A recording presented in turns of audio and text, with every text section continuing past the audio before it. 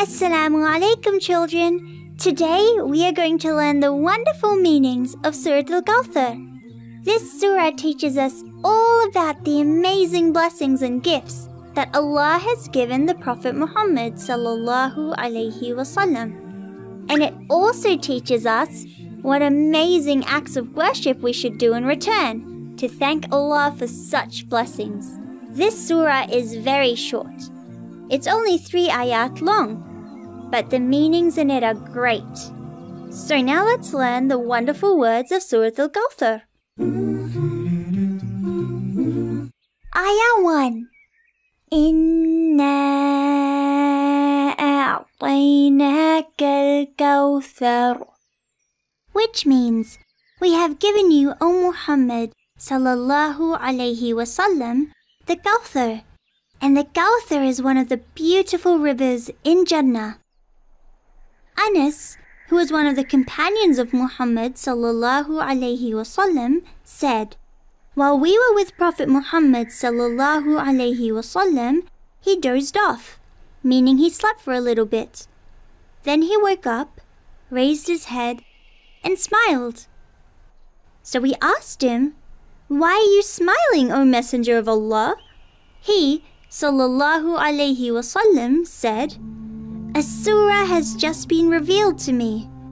And then he recited Surah Al Kawthar. Then the Prophet Muhammad sallallahu alaihi wasallam asked us, "Do you know what Al-Kawthar is?"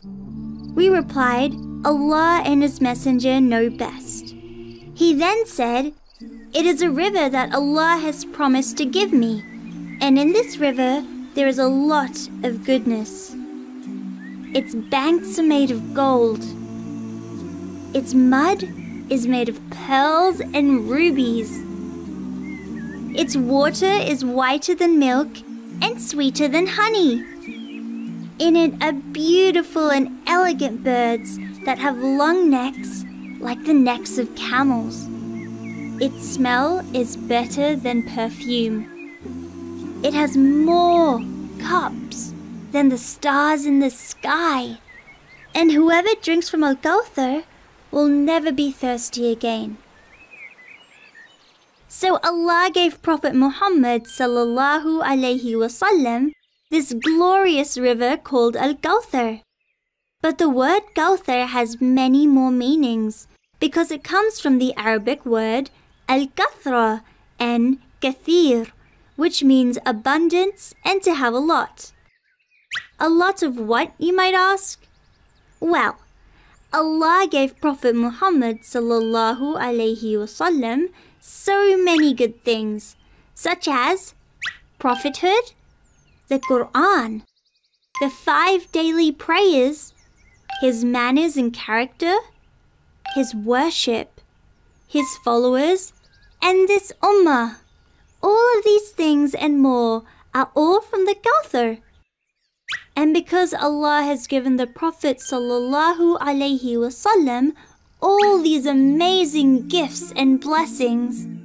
Allah then commands the Prophet Muhammad wasallam to do amazing acts of worship. And what are they exactly? The answer is in the next ayah where he says, Ayah 2.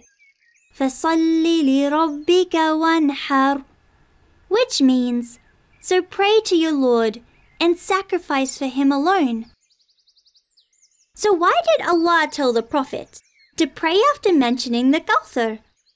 Well, because we said the word Kawthar includes many blessings, the prayer includes many acts of worship, such as wudu, purification, adhan, dhikr, Quran, dua, sunnah prayers, Eid prayer, Jumu'ah prayer, night prayers, humility, concentration, fear, hope, and peace.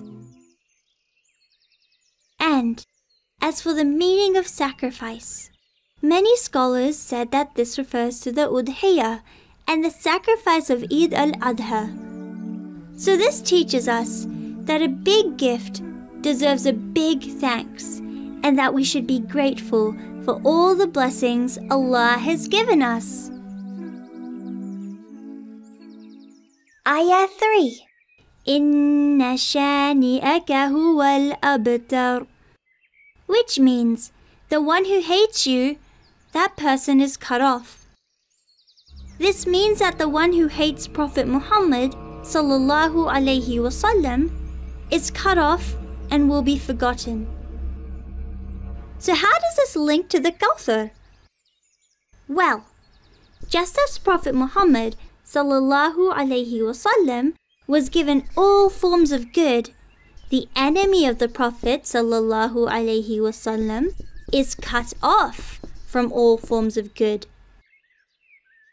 I hope this has helped you understand the wonderful words of Surah Al-Kawthar.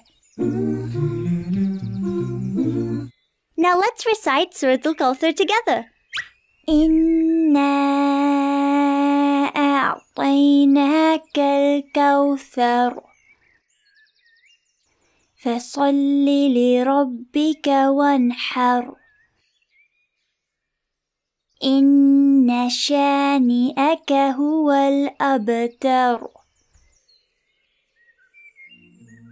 I really enjoyed learning the wonderful words of Surah Al-Kawthar, and I hope you did too. Until next time, Assalamu alaikum.